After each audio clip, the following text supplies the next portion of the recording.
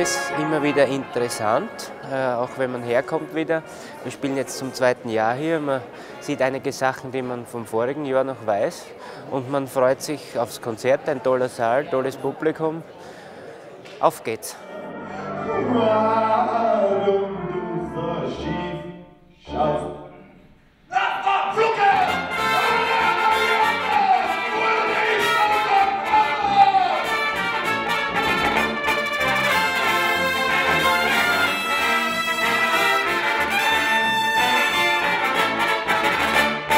Es geht um Wein, es geht um Sport, es geht um Geistlichkeit, es geht um ja, es geht um viel und es, es tut sich was auf der Bühne und ich finde es leibend. Wie der Name schon sagt, in Wiener Veritas, im Wein liegt die Wahrheit. Es werden sich einige Kollegen heute ein bisschen outen auf der Bühne. Wir werden den Wein äh, auf der Bühne produzieren. Wir werden den Wein auf der Bühne trinken, quasi verkosten und äh, das Ganze musikalisch umrahmt, äh, wie man es eben vom Blechhaufen gewohnt ist.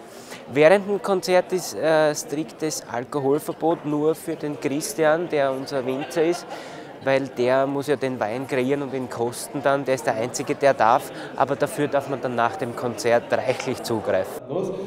Weiter sei gesagt, dass unser Wein im Cuvée aus verschiedenen Jahrgängen ist. Also das wäre dann zum einen Jahrgang 1984, da haben wir viel Farbe drin. Der junge, erfrischende Anteil dieses Weines. Dankeschön.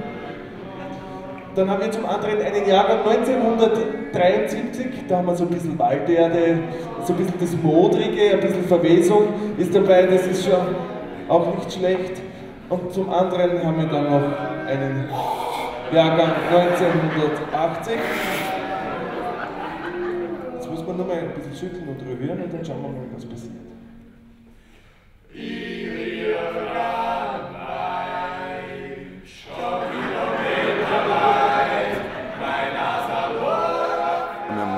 Alle klassische Musik studiert.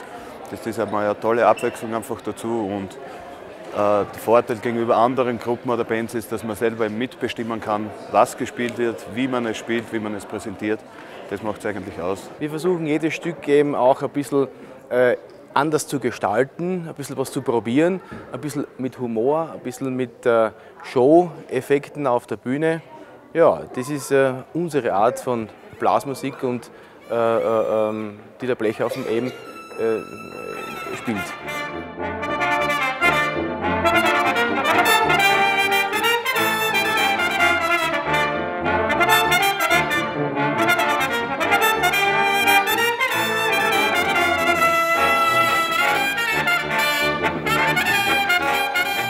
Dieser Wein endet mit einem fulminanten Finish. Mir bleibt nur mehr eines über. Kosten Sie diesen Wein in der Pause. Man kann ihn auch mitnehmen ich werde ihn noch nachproduzieren dann. Äh, und am Schluss nur mehr Prost.